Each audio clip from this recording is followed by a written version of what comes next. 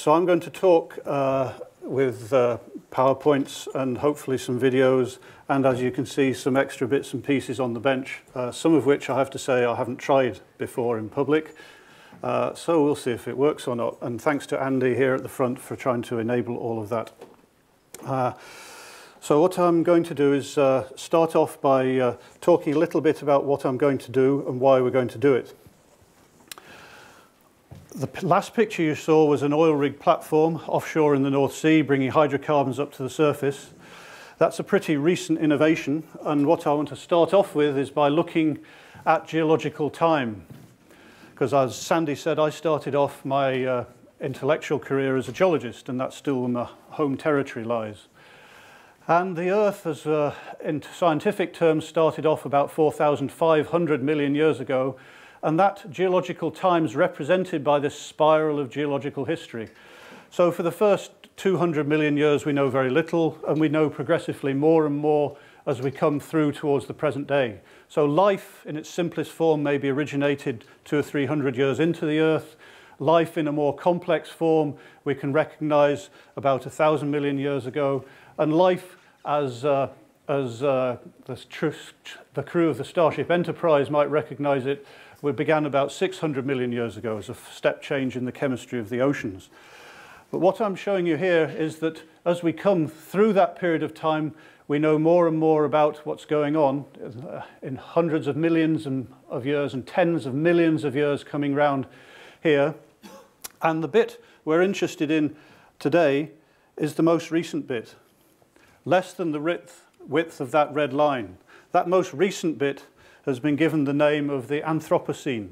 And this is now starting to become recognized as a new type of geological period, not divided up by these evolutions of land plants and these movements of continents, but by divided up this time for a truly unique event when people, us, on the surface of the earth, have become more powerful in many ways than natural forces. And that's what I'm going to talk about, the consequences of what we've been doing to the natural circulation systems of the Earth and the consequences of what we might carry on doing in the future. So this unique period we're living in, particularly as Sandy mentioned, the past 300 years since the 1750s, is uniquely important for us as the allegedly the most advanced species on the Earth. So I'm going to talk a little bit about electricity supply. I'm going to talk about uh, the four options briefly here of electricity supply. There are only four options. You can uh, generate electricity from fossil fuels, which is what we have been doing. 80% of our electricity comes from fossil fuels still. We can generate electricity from nuclear in the future. We can generate electricity from renewable sources. And the smartest thing we can probably do is to be much more efficient about the way we use our electricity. So in all of these, I'm going to talk in this lecture, I'm going to talk about why there's a problem, how that problem manifests, what we're going, and what carbon capture and storage can do about it, and what other options might we have. Because the problem we've got here is that we all want reliable electricity, like we've got now. We want it at a cheap price, an unfeasibly cheap price. We want that electricity to be derived from secure sources, so we don't actually want to have to pay anybody anything and import uh, our sources of energy from anywhere. That's entirely unrealistic at the moment. And we want it to be sustainable, of course, and that's terrific. And we can try and aim there, and we'll see if we get there or not. And so these aims and objectives are what electricity might look like in the UK in 30 years' time or 20 years' time. That might not. Uh, if you're a fan of renewables, as I am, most people are, you might say we've looked for 60 or 80% renewable energy and much less nuclear. Doesn't matter, you've only got these four dimensions to play with. And that uh, is set against the increasing numbers of world population, so we're at about 6 billion people just now. By the time we get to 2050, we'll be at 9 billion people. They'll all want to behave like we do. They'll want to hopefully not go to Spain for their holidays, but they'll want to eat types of food we do. They'll want consumer goods. They want to behave in a luxurious way. So at the moment, we've got 80% of our electricity uh, demand, electricity use comes from fossil fuel. In fact, probably about 90% of our energy comes from fossil fuel. By 2030, only partway through that population increase, all predictions show that we'll be looking at an extra 50% of demand globally for energy and electricity. So none of this is going to be particularly easy. We're going to have to try and do uh, make our existing resources go further against this backdrop of continually increasing population. And two uh, fairly sad messages initially. That first of all, we're not going to do it by saving plastic bags. Okay, it's all terrific saving plastic bags, but that's not going to get us out of the problem. And I'm afraid that neither are we going to do it by putting in low energy light bulbs, okay? Because they're still consuming lots and lots of energy, even with low energy light bulbs. And that energy and that electricity in particular needs to come from somewhere. And I'm talking about electricity in particular, we'll see later on, because the view is, in this country at any rate, that the, if we can solve and clean up electricity, when I say solve, I mean decarbonize, reduce our environmental impact of generating electricity, then that will also help us to clean up our transportation system and also help us to clean up our domestic and industrial heating systems. So we'll address quite a lot of our energy usage by trying to sort out electricity and, and clean up electricity. So if we could go across to the video, so I pressed laptop on here, do I? On the bottom one, right? And Andy will play the video. So this is the point about why bother. So this is an animation here from 1884 showing you the temperature on the world, the excess temperature. Zeros in white, excess temperatures are in red. And what you should see is that the excess temperatures move around on the world, but as we come, there's a period of heating in the 30s, and as we come through, particularly to the 1980s and 90s, Watch the, watch the Arctic, watch the North Poles, watch the South Poles.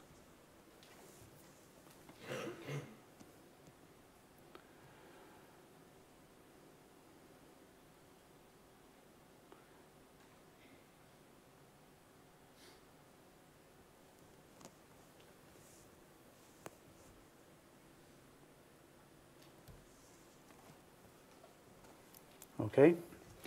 So that tries to average a whole set of measured information and simulated information from the past 100 years. And what that shows to me visually is that there's quite a convincing trend to getting hotter and hotter in the temperate zones and in the northern polar latitudes and in the southern polar latitudes.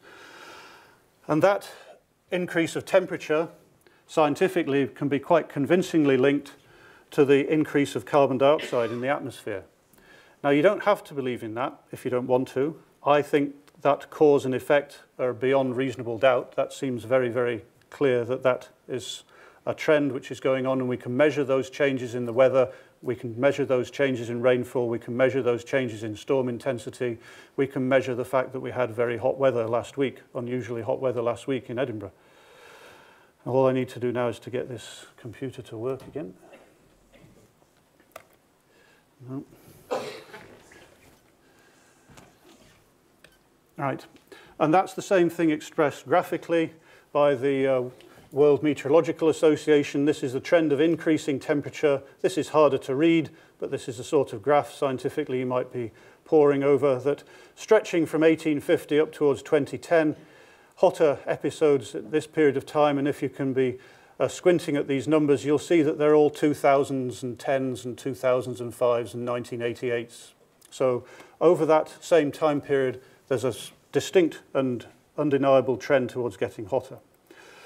Okay, so in simple numbers, 2010 was half a degree warmer than it was uh, when I started going to school.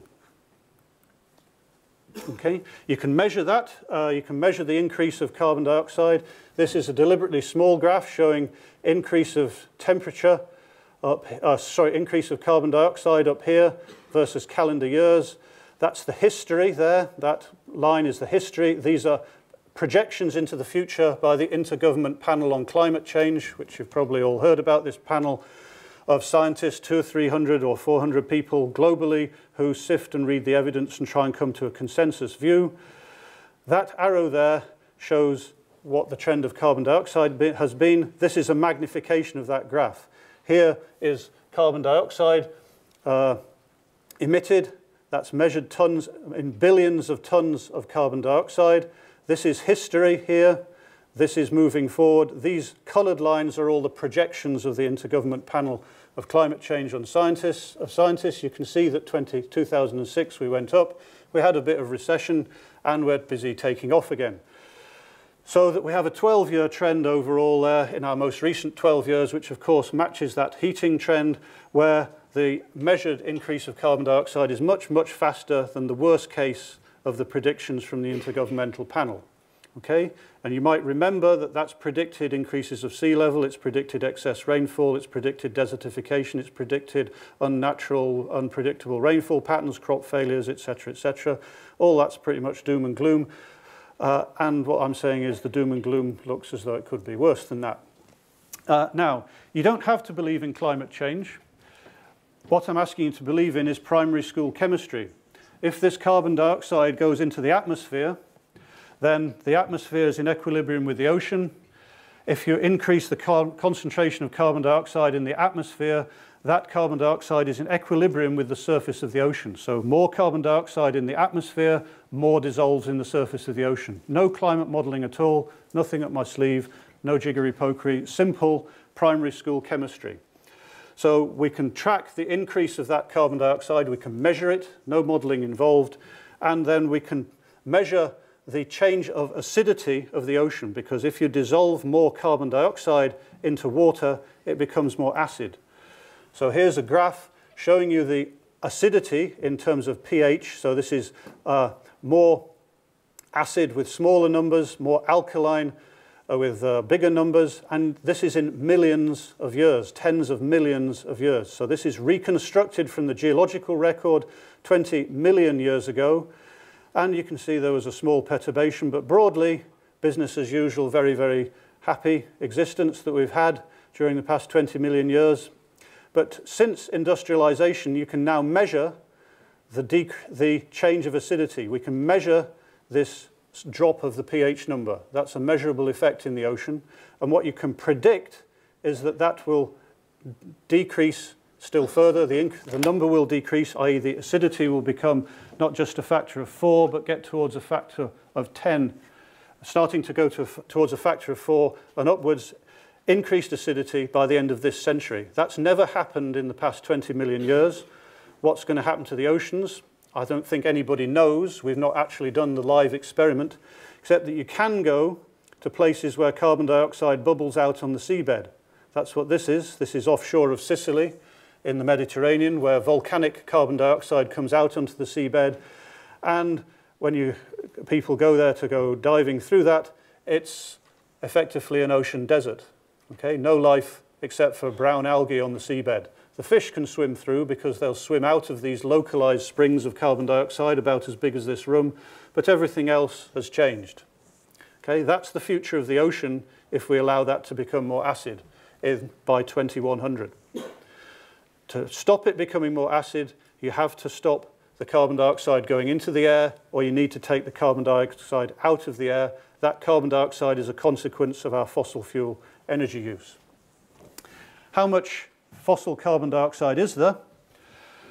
Well, uh, there's lots. Okay, so here's a graph showing you gigaton, billions of tons of carbon. So I've changed the units. So if you want to change that into carbon dioxide, multiply by three and a half. And this is the amount of oil, gas, coal, and other fossil hydrocarbon reserves and resources in, in the world. What we've used is shown by the purple, approximately. So you can see we're maybe about a third or halfway through our amount of, oil, of liquid oil. Uh, that's giving some people a bit of stress, but uh, that's nothing compared. We've just started on the amount of gas, and we've barely scratched the surface of the amount of coal. And that's not counting tar sand, shale oil, and uh, shale gas and hydrates all around the continental margins of the world. Okay, so we've perhaps used 5 or 10% of the fossil hydrocarbon. We've increased the temperature of the world by half a degree in the last uh, 30 years. We've increased the temperature of the world by 0.8 of a degree. We've more than enough ability to dig up that fossil carbon, burn it, and uh, fry ourselves in a blanket of Venus-type uh, carbon dioxide where the temperature will go up beyond anything we can possibly cope with.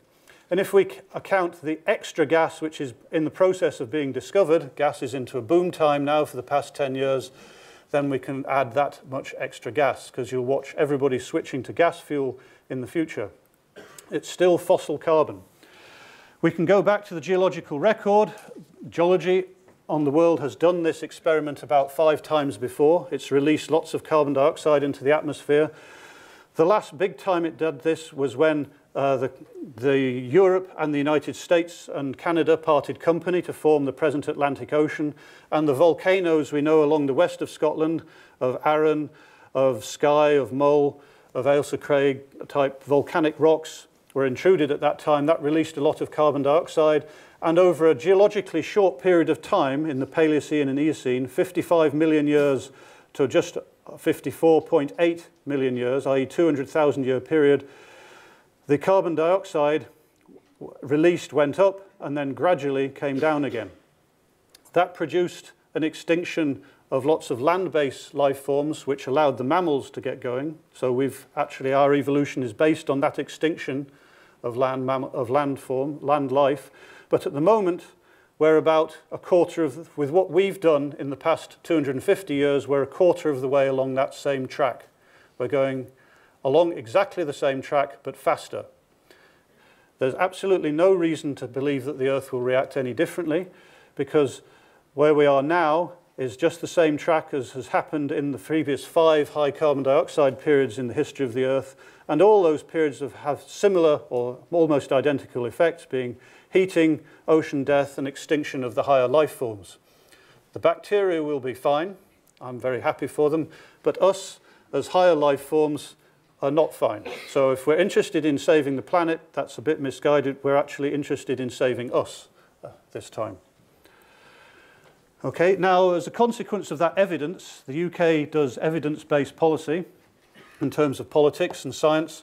So as a consequence of all that evidence, the UK has set up a committee on climate change.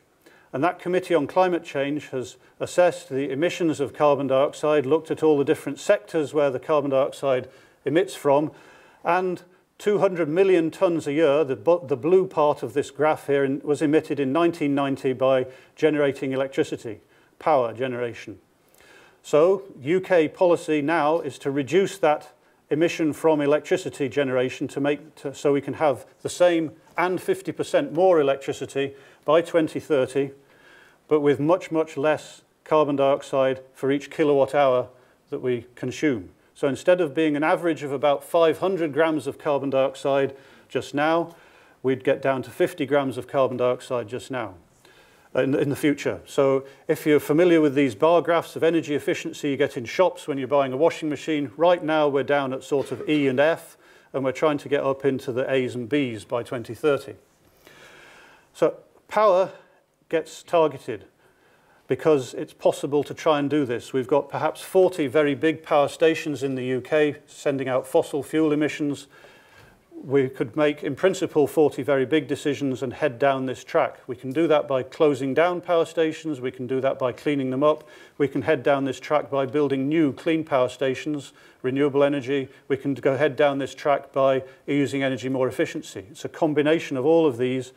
But power unlocks the door into using electricity in industry, by using, by using fossil fuel in transport, we can decarbonize, we can shrink all of this graph down uh, up to as far as the green by decarbonizing and transferring to electricity. And that is inherently, implicitly, the strategy uh, which we've got uh, just now. And just to illustrate the size of the problem again, just right now in the UK, we are using 33% of our electricity is coming from coal right now, 45% is coming from gas burning, uh, just 4% from wind and 12% from nuclear. So it just shows right now at uh, 6.45 on Tuesday, we're totally hooked into fossil fuels. So we've got to try and change all that by 2030. And that's an extremely difficult task. It's never been done before. And that is where the role of university research and universities come in. Inventing stuff is what we get paid to do And this needs some serious inventing. So how does this carbon capture and storage stuff actually work? Here's a conceptual graphic, which is not to scale. It's trying to get everything onto a page. This is mining the fuel from coal mines, uh, which may be in Scotland, but may be in uh, Russia, east of, the, uh, east of uh, Siberia, or the coal may be in Venezuela, so it's hard to draw this to scale. This is oil and gas coming out of the North Sea, uh, in the southern North Sea or offshore from Norway. We mine our fossil hydrocarbon, we bring it to the UK, and we burn it. And we burn it in the power station, and at the moment, it's socially acceptable to put all the waste, put the carbon dioxide waste products up the chimney and dump them into the atmosphere. So 100% of the carbon dioxide goes into the atmosphere, and that is all around you just now. What I'm talking about is the concept or the, the practice of can we scrub that? Can we clean that up? Can we burn the fuel without emitting. So we clean that up, capture the carbon dioxide at the power station by chemistry or by some smart engineering, which I'll talk about in a minute. And can we then purify the carbon dioxide, liquefy it, and transport it by pipes for maybe 50 kilometers, maybe 400 kilometers. Then where we can inject it deep beneath the sea into porous and permeable rocks, layers of rocks which have microscopic holes in them. So we're putting the carbon dioxide liquid back where it came from, deep underground, we want it to stay there for 10,000 years into the future whilst the atmosphere of the Earth gets back to normal. So that's the proposition, that's what carbon capture and storage is about. The, the uh, advantage of doing this is that it's a very direct carbon reduction. It's can actually on the site of the power plant, that could reduce the emissions by 90%. And even if you include the mining and extraction of the fuel, that could still reduce the emissions by 75%. So it's not perfect, but it's a very big and very direct carbon reduction where we don't have to change things terribly much. We can use our existing electricity wires, our existing power station sites, and uh, we can, in principle, do this uh, quite rapidly. So that's the advantages. We can carry on misbehaving as usual and clean up. Somebody will clean up after us. The disadvantages, which I'll talk about as well, is that this isn't actually working at large scale yet. There are several places, there are six places around the world where this is working to some extent. It's not proven at big scale. And to do this, to convert a power station, is a big item of kit. And it needs a big item of cash. Okay, so to do this, to cross the barriers, to jump into the swimming pool, if you like, is difficult the first time round. And of course, uh, for the uh, uh, people concerned about environmental transfer, environmental debt in other countries, which is absolutely correct, then it perpetuates and accentuates coal mining in other countries, extraction of oil and gas from elsewhere around the world. So we're still hooked on fossil fuel. So it's not perfect solution.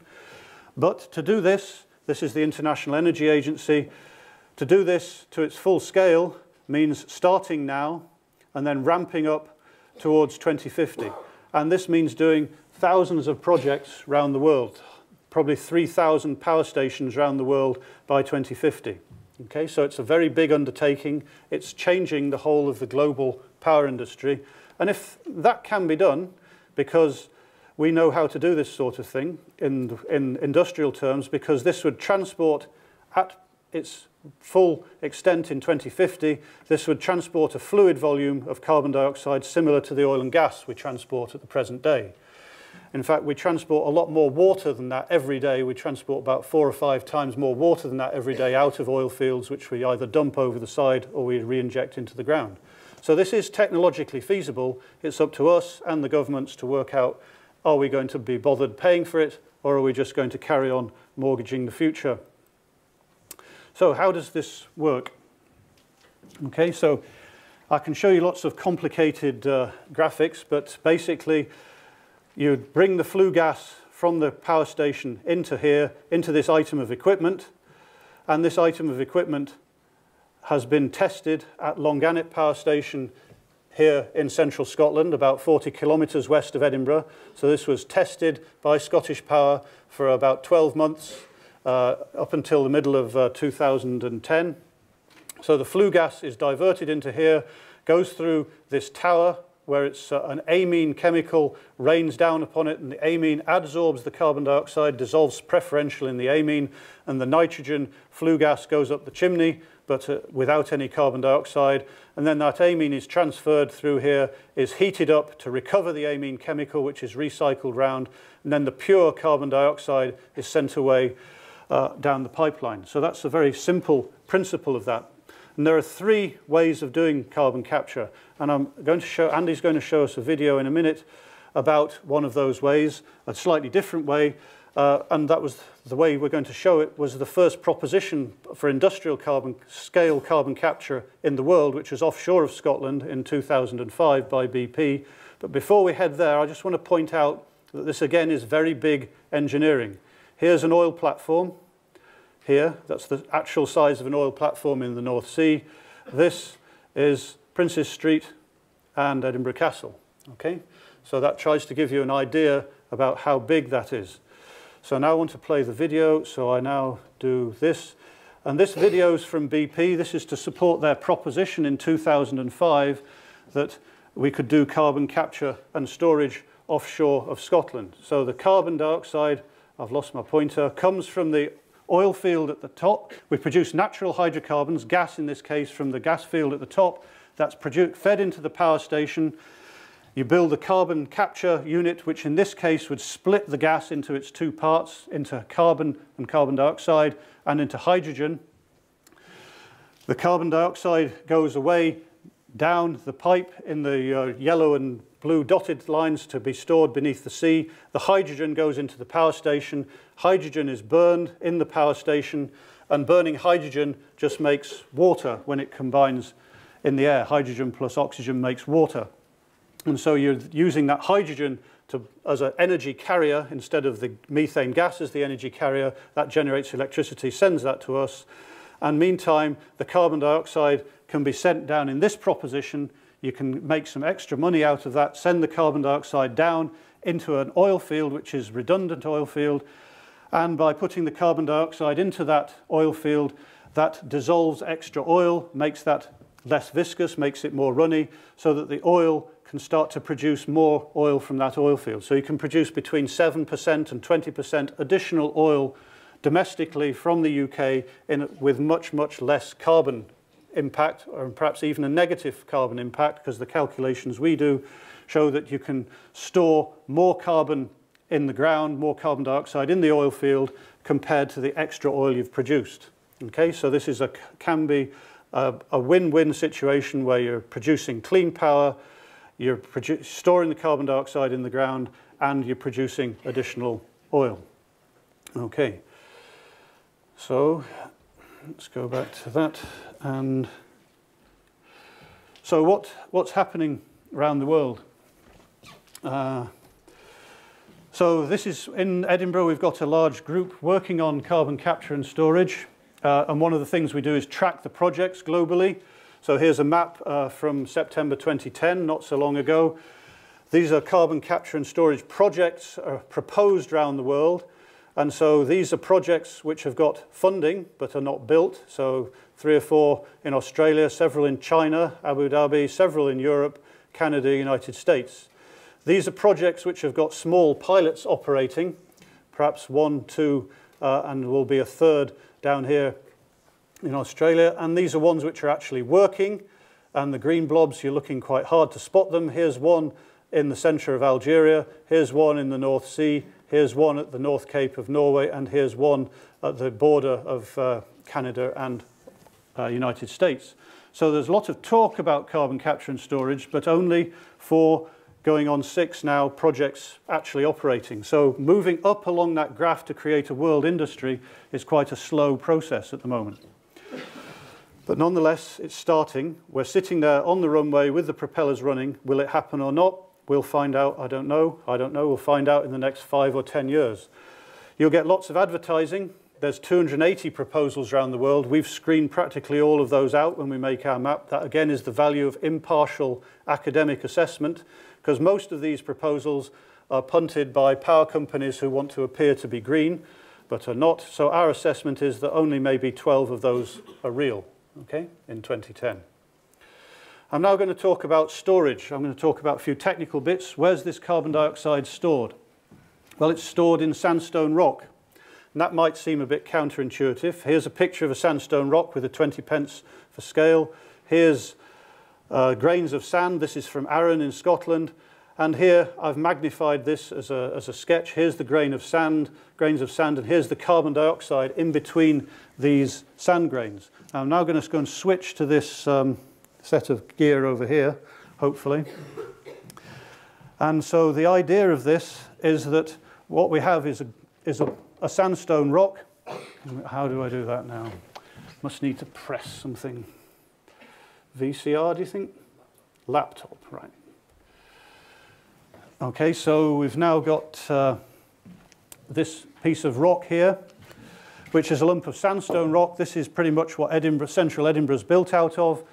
Sandstone rock about 350 million years old. It's solid, okay, very solid, but about 20% of this is space, and that's exactly like the rocks deep beneath the North Sea. We plan to inject carbon dioxide into, and what we need is a lid, shown by my children's Play-Doh, and this children's Play-Doh is the impermeable seal on top of that, and what we're trying to do is drill some boreholes in a place where we've got a bent lid, we've got a, a, topography below ground with that seal on it, drill a hole through and inject the carbon dioxide sideways into that reservoir. Okay, so that's the simple principle of what goes on. And that works because the rock is porous and is permeable. And if this works, then I've got a different piece of rock here, which is a red sandstone from the west of Scotland.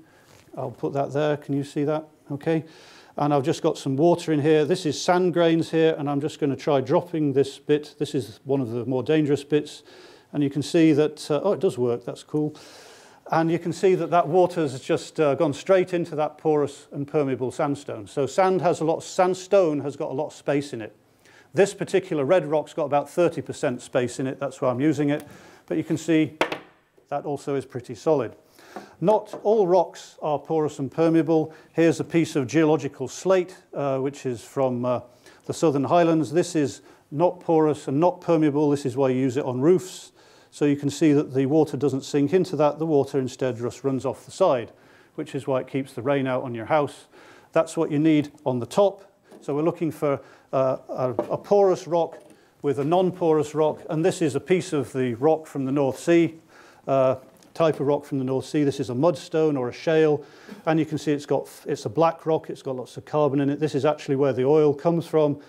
And uh, you can see the white bits are fossils, fossil ammonites in this case. So that's the geological combination. You need a porous and permeable rock with a lid on the top of it, a lid on the saucepan. Inject the carbon dioxide into the rock, and this lid stops the carbon dioxide coming up to the, towards the surface again.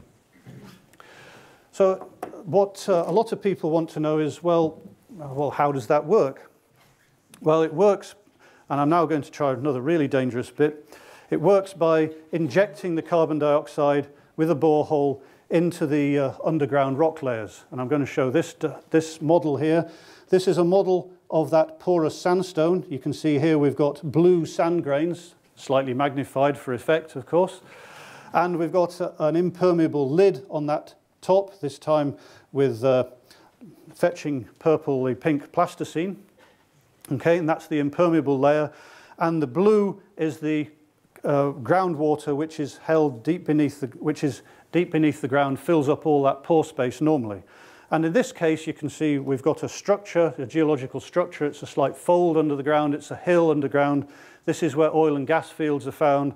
And you can see in this one, then we've got a little bit of gas at the top, a little bit of uh, white at the top there where there's some uh, residual gas. So this is pretty much a representation of a gas field where we've produced the gas, we've burned that in our houses and in our power stations, and we'll then try and refill that by injecting with carbon dioxide, and we drill a borehole off to the side, and we inject the carbon dioxide.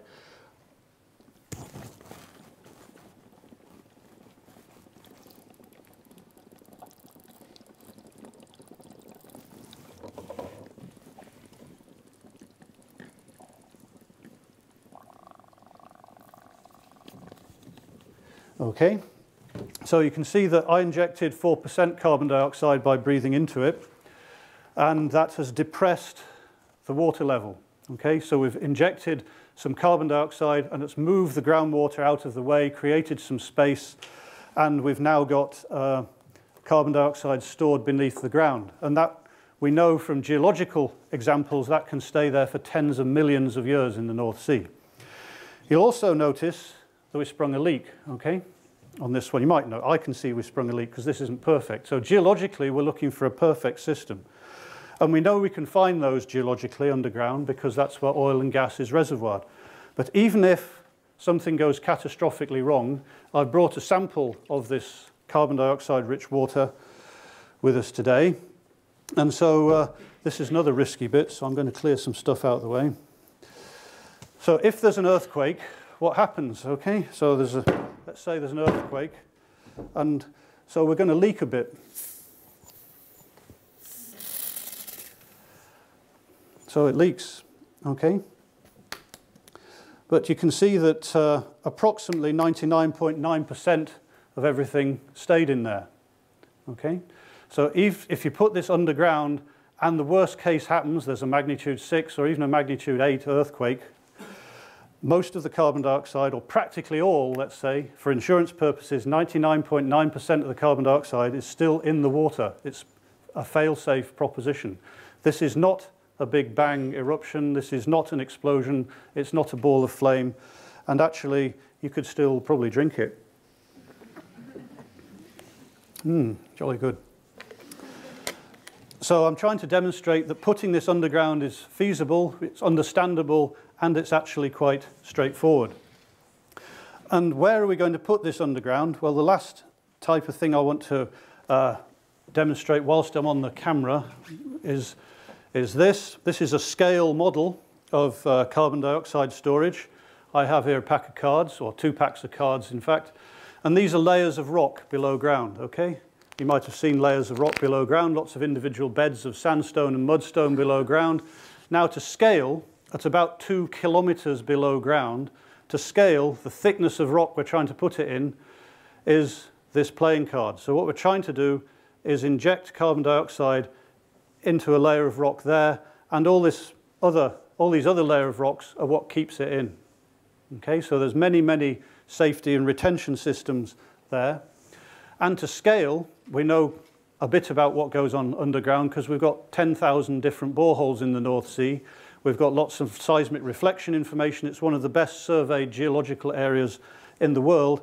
And to scale, uh, if I've got a borehole in here, we actually know quite a lot because from a borehole like this paperclip here, then we can get enough information out of that matched with the seismic reflection information that if Rudra at the back there holds up a paperclip, that's the next borehole to scale in the oil field and we can understand enough about the rock in between these two to make extremely good predictions to get the oil and gas out. Thank you very much, Rudra. Your PhD is in the bag, right? okay, so I'm just trying to give you a very quick illustration that we, under that we understand uh, enough about the subsurface, or in fact more than enough, to try and undertake this safely and securely. Now, offshore of Scotland, uh, this has been offshore of Norway, technically speaking, this has, been, this has already been going on. This is the image I showed you at the beginning, the, oil, the offshore oil platform. Here we've got oil being produced, carbon dioxide being injected, and in the Sleipner field, that's already happening since 1996. Here's one of those saline aquifer formations uh, beneath, deep beneath the sea. Offshore of Scotland, the work we've done in the university shows that uh, We've got lots of saline formations, lots of rocks which can do that. Here's a map of Aberdeen, Inverness, Orkney, Shetland. The red bits are the oil fields, the orange bits are the uh, gas fields. The places we can put carbon dioxide are shown by the, by the red bits. Those are layers of rock, sometimes many layers, 10 layers thick, each of which can be one or 200 meters thick. There's lots and lots of space out there. Okay, so I'm now going to crack on because I'm, I'm going to run out of time. Uh, I'm just going to skip over a few slides, but the, before I do that, my final point here is that in Scotland and offshore of the UK in general, we actually hold more storage for carbon dioxide than any other country in Europe.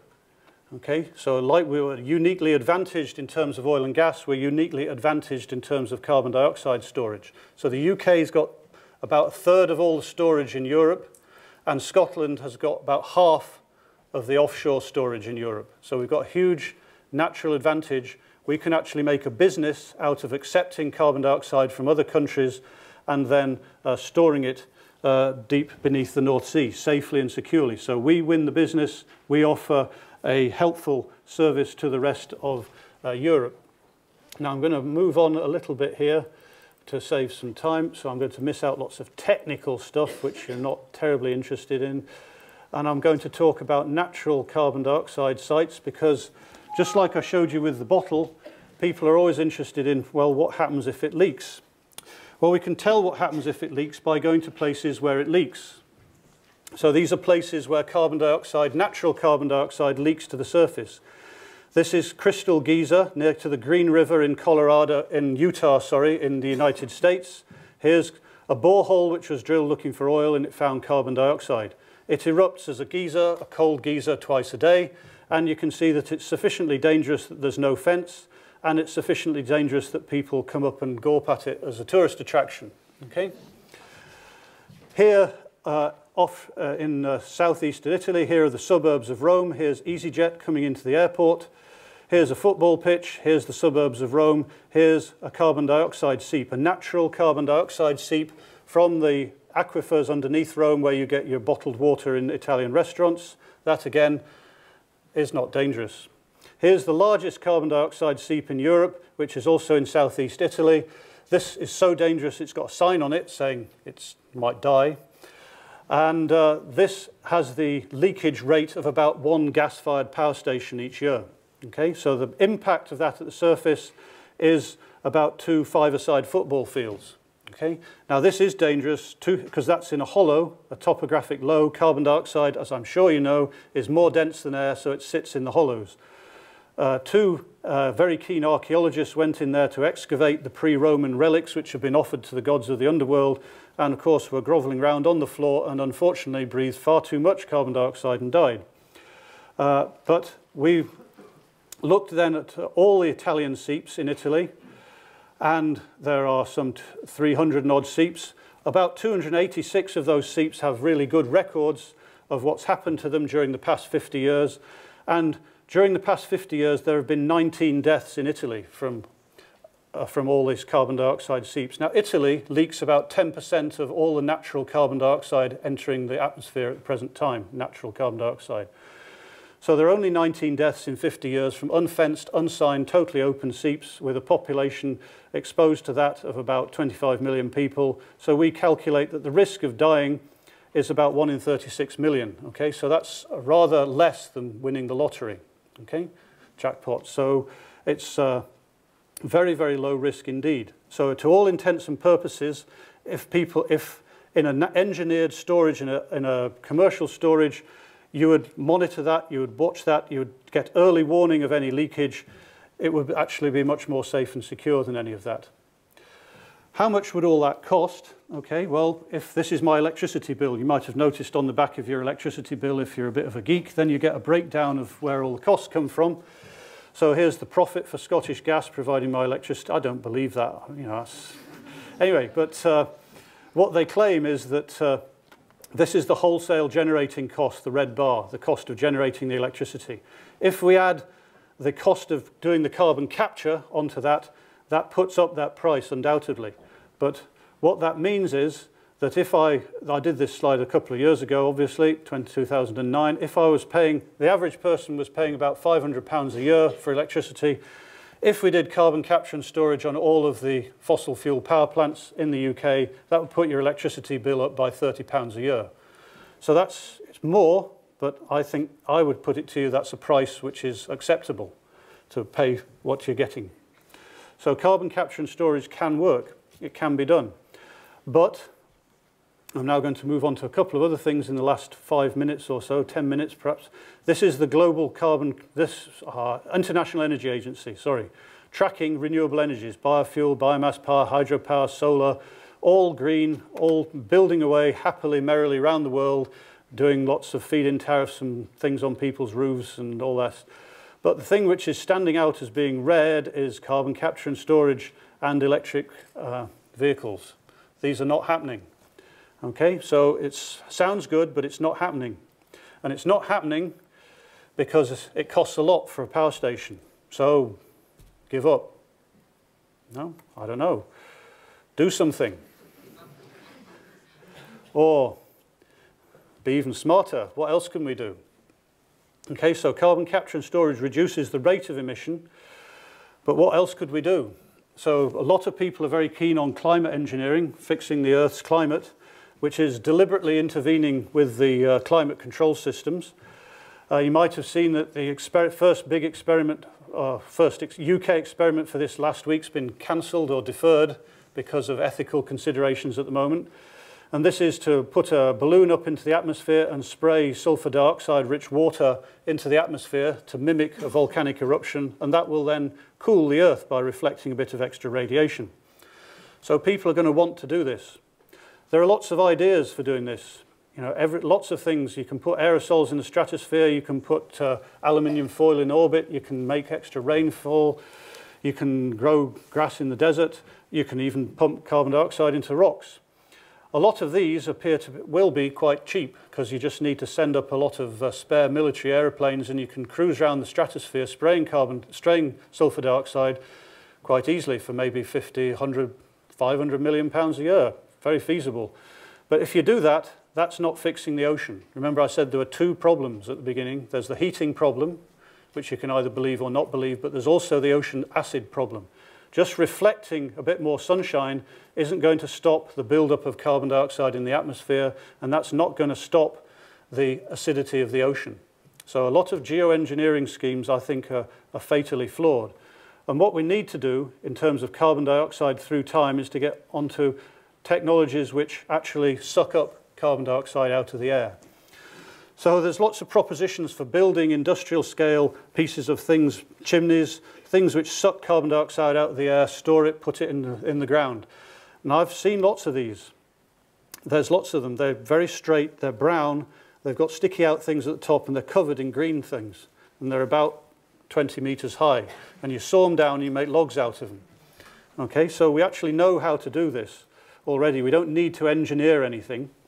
What we've got is a natural system where trees grow and vegetation grows rots and it dies, and the carbon dioxide, carbon in the soil rots, goes back into the atmosphere. What we're proposing here is to intervene with uh, smart making of charcoal, effectively this pyrolysis step, which is smart charcoal making, and get some energy out of that and return the carbon to the soil as charcoal. Charcoal is geologically resistant okay, to decay. You can find charcoal which is thousands of years old in soil. So we've set up a centre for doing this at the University of Edinburgh, which is turning biomass, which is waste straw, waste wood chips, into charcoal and getting oil and energy as byproducts of that. Okay, so this is new science. Again, the role of the university is to do the new science and provide the evidence and the classification and the knowledge which enable governments and industries to try and make legislation and try and make money out of this, but also to try and help the public to decide whether they want to do this or not. Okay, so this is an entirely new endeavour trying to suck carbon dioxide out of the atmosphere. So this is the old way of doing it, making charcoal. This actually makes more emissions, more greenhouse effect rather than just simply rotting. Uh, what we've uh, bought and built is uh, fairly simple instrumentation equipment which is about the size which any farm or any village can use and that puts the biomass in controls the temperature, controls the rate, controls the oxygenation, and we get oil out and we get charcoal out. And that's what we're busy investigating, trying to make that into a system where we can get the heat, get the oil, and use that and put the charcoal back in the ground. Because when you put the charcoal in the ground, this is uh, agricultural trials down at uh, Rothamsted Research Institute, in, which we're collaborating with. We put plots into the ground, we put uh, biochar, charcoal on some of these plots and we can discover that in many cases that enhances the plant growth of crops. So you can put carbon in the ground, you can enhance the growth of crops, you can decrease the fertilizer input, and you can start to be able to feed those 3 billion extra people by 2050. So that's good. That can suck carbon out of the atmosphere. What if we did them both together in the last three, four minutes now? Here's a power station. You might not like it, but that provides lots of electricity. These power stations can burn biomass in there. Most of these power stations can burn coal or can gasify biomass and burn a mixture of biomass, co-firing. That's not the same as burning 100% biomass like the propositions in Leith or in Dundee or at Grangemouth. Uh, personally, I think burning 100% biomass in big power stations is entirely misguided. You want to save that for primary schools in the north of Scotland where you don't have any uh, gas grid.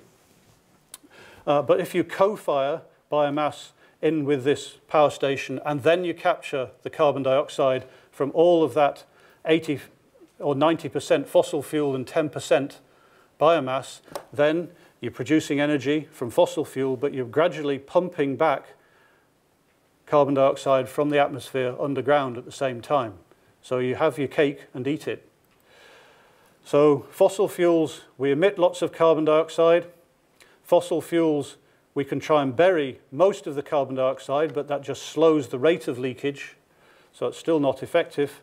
Bioenergy, we're just churning that round. So that's great if we had enough bioenergy, but if we covered all of the UK in trees, we could still only produce 5 to 10% of the energy we need.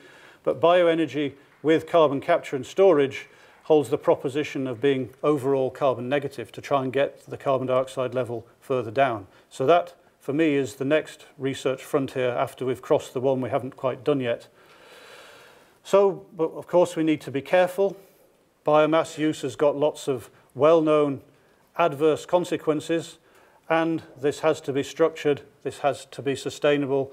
It can only have a limited impact, and it has no impact at all if it's not sustainable. So we have to make a choice in the future. Here's the parts per million carbon dioxide in the atmosphere. We're trying to, with conventional technologies, with energy efficiency on power stations, even with carbon capture and storage, we can get the carbon dioxide level down towards 350 parts per million. With bioenergy and carbon capture and storage, by taking carbon dioxide out of the atmosphere, we can probably get down to the level we need to be at and for a much cheaper price in terms of US dollars. Okay, so we have to choose, do we want the lowest cost, which is just tinkering with what we've already got? Do we want to limit the environmental impact? How deliverable is it going to be? Who's going to pay? how, and how efficient we want it to be. And so to finish off, unfortunately you can't read that very easily, but what I've said here is that the world's burning too much carbon just now, that's pretty clear. Decarbonising the electricity is a good first step in getting towards where we want to be in terms of sustainability, genuine sustainability, We have to be more efficient. That's the best first step, but it's still a step many of us don't bother doing. How many people have actually fitted solar panels and uh, insulation around their walls of their house? Is what I want to know. And uh, if we do carbon capture and storage on coal burning and on gas burning, we can decarbonize electricity, heating and transport. And that means we can genuinely choose between risky geoengineering or more sustainable biochar and biomass with carbon capture. And that's it. Three minutes over time, but thank you very much for staying. That's me.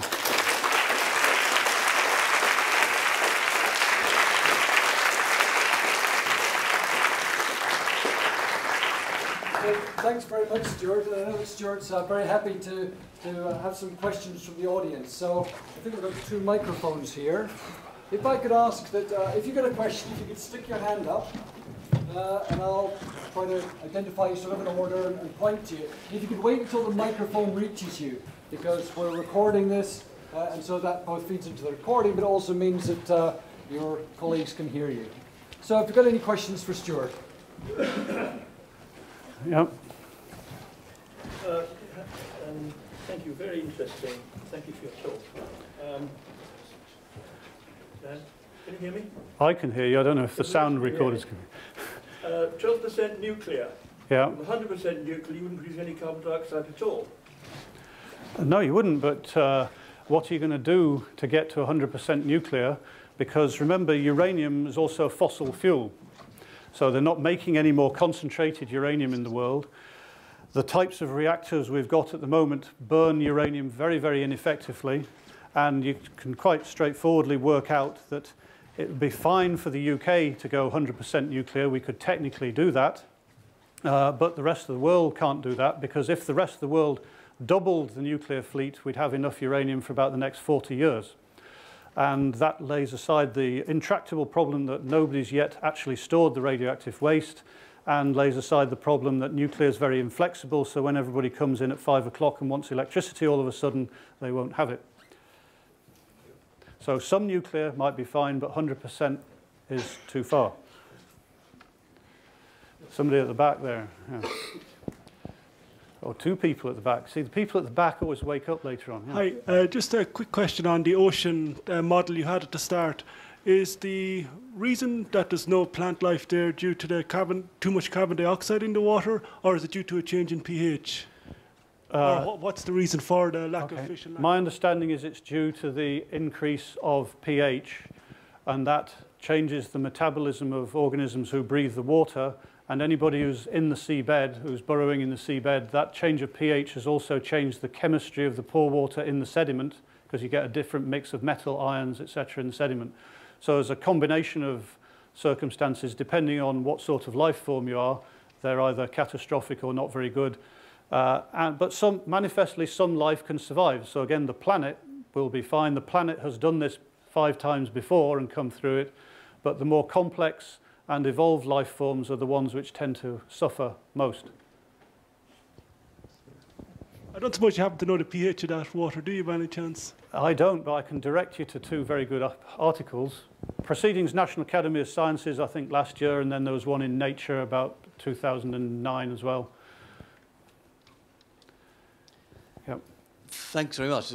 Absolutely fascinating. And it sounds like a great idea. Why isn't everybody doing it if it's going to 5% or so of the cost of end user electricity? Well, I think uh, it's a great question, of course. So the video I showed in the second video I showed was the proposition by BP for the Peterhead power station heading to the Miller oil field, so northeast Scotland going off, offshore. And that was put up at, in 2005, and uh, that got jumped on by the Treasury in the UK, and the Treasury decided that they didn't quite know how much it was going to cost to the nearest 10 pounds or so for the price of electricity. And also the job of the Treasury is not to spend anybody's money. And so the Treasury, I think, has stopped it. That's my supposition. And where we are now, we've now just about gone through to the second cycle of all this. I showed a picture of Longannet Power Station practicing carbon capture in 2010. The government at present has a competition in the UK to fund uh, the first carbon capture and storage power plant and Longannet Power Station is the last survivor in that uh, competition. Uh, however, it's not clear if the Treasury and the Department of Energy and the power company are going to agree monetary terms on all that because the company has to make a business out of this. It can't do it because we all think it's a nice thing. It's going to have to get paid the relevant amount for the electricity. And that, sadly, doesn't seem to have been sorted out adequately at the moment. So in the UK, it might happen. We could this time next year be leading the world in this if that proposition goes ahead. Or if that doesn't, then probably China will be uh, moving past everybody because China's got about four or five projects on the go now at different size scales. And China will, uh, at some time to suit itself, decide to motor on with this. Um, if you got this up and running with like the 3,000 power plants or whatever, how long would it actually be sustainable before we still ran out of fossil fuels? Right. Uh, well, I've, i showed you a graph of uh, the amount of fossil fuel on the planet. You might remember there was one with yellow bars and purple at the bottom. And so uh, since uh, the past 300 years, we've maybe used a few percent of the available fossil fuel. We don't actually know how much methane's out there frozen on continental margins, and we don't actually know how much shale gas there is out there in Russia and Poland and North America. So I think we've safely got, if we wanted to do, two or three hundred years worth of fossil fuel combustion quite easily. Obviously, what the point I'm making is that's a resource. You can burn it, it'll keep you warm, but it will have very adverse consequences unless that's burned with carbon capture or with sucking the carbon out of the atmosphere. Um, yeah, thank you for the lecture. Lots of interesting stuff. Um, one thing you, did briefly mention about uh, the carbon emissions from mining, and are just interested in if you're aware of any ways in which that, that can be captured as well. Uh, another thing quickly is that George Osborne this afternoon was busy reassuring the Conservative Party faithful that, uh, that Britain wasn't going to go very much further than any of its European neighbours in, in kind of tackling this. Do you feel that there is enough confidence in uh, the business environment for this technology in the UK for it really to go ahead, or, or is, are, are people too nervous? I mean, Longannet Power Station being the only one left in that competition uh, is, is a good example of, of uh, some sort of candles that have, have burnt out a little bit. Okay, uh, so the first question was how do you catch emissions from coal? Uh, right, well, some of the emissions are pretty difficult. Uh, so uh, you can do more. So as you probably know, if you mine coal, then you have uh, fire damp or methane gas or coal bed methane comes with that in the coal seam. So you can evacuate that from the coal seam before you mine it. So you can reduce the emissions of mining that way. There are places, a couple of places in the world now where people have put effectively a big warehouse on top of the, uh, their coal mine to catch the emissions when those, comes at, those come out. Uh, so that catches emission, some emissions from coal mining. Uh, emissions from spoil heaps, from oxidation of uh, waste material on surface, pretty hard to do anything about that. And it's also pretty hard to do anything about transport emissions. So some of those, I think, are, all, are going to be inevitably there. So that's, I'm pretty clear to point out that carbon capture and storage is not the ultimate and final solution. It's a good first step, but it's not the end game. Uh, second point uh, about governments looking across to see uh, are they level with everybody in the sprint. Uh, that, I think, is the problem, that uh, the governments talk a, a, good talk on this, but it's pretty clear that there's not a lot of uh, checkbooks being flashed around the world to, to pay the costs of these first very big experiments. Because uh, the experiment, in my mind, is actually not so much as an experiment as a validation. Uh, there's plenty of sums, calculations, number crunching been done that it's highly probable, like 98% probable this will work. It's a question of how much it's going to cost. How fast can you drive down the cost? And uh, if you're going to do that in your country, why should we bother doing it if the next door three countries are not going to do it? And that's part of the human market condition. And I think we've got ourselves in a problem by marketizing everything that we're prepared to pay uh, short-term price, but we don't see the long-term value. And so again, I think Britain has historically, scientifically led the world through a lot of new constructions and uh, social constructions, and this is another opportunity to do that. I think we've one of the best positioned countries in the world actually to do that. And so I'm biased, but I think we should experiment with it. Otherwise, we never know whether it's going to work properly or not. Once the first aeroplane's taken off, then everybody will believe that heavier than air objects can actually fly. It's that type of thing we need to do now. Out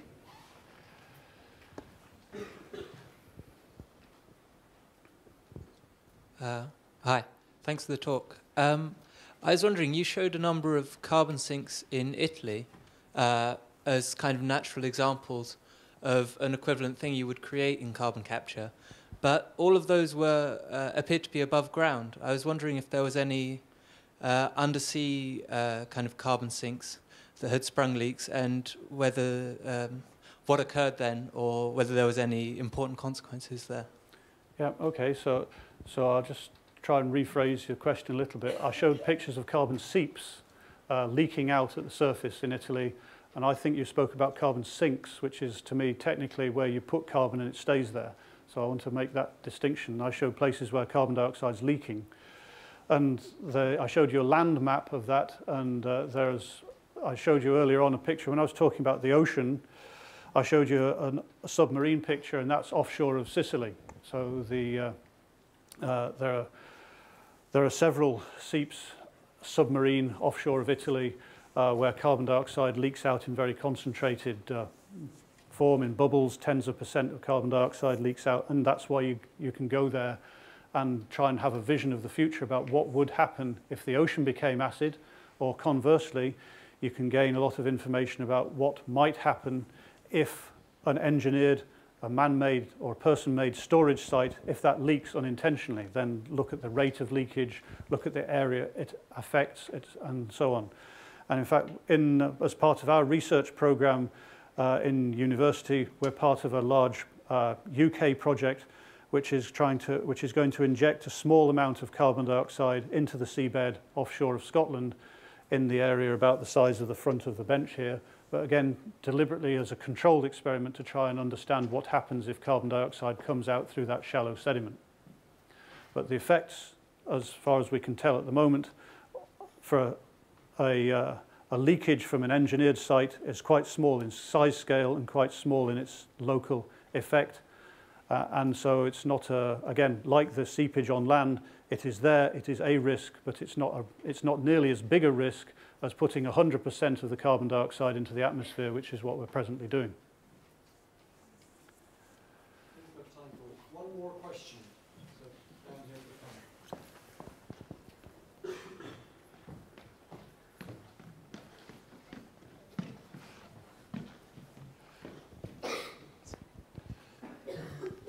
Uh, is it easier to build new power stations with this technology than to refit them? It's undoubtedly more efficient to build a new power station because if you build a new power station, let's say you build a new coal-fired power station, instead of being instead of getting 32% of the energy out of the fuel from a new one, you get 47% out of the energy out of the fuel and then you'd have an energy penalty for doing the carbon capture, maybe take 3 or 4% off that, so you'd still end up with 40 something percent of the overall energy as electricity. So it's better to do that. Gas-fired power stations, even better, so you get something like 68% of the energy out of the methane gas building a new power station. But just like cars, if you like, I would love a new car, but I have to make do with my old one, even though it's less fuel efficient than the the new one might be. And there's a slow but continuous turnover of the equipment and the technology. And that slow and continuous turnover, it happens with power stations as well. And that's one of the roles of government is to set the rules so that when somebody, a company builds a new power station, then they build an efficient one and they build one which can do this carbon cleanup, carbon capture and storage when it becomes viable. Thank you very much, Stuart.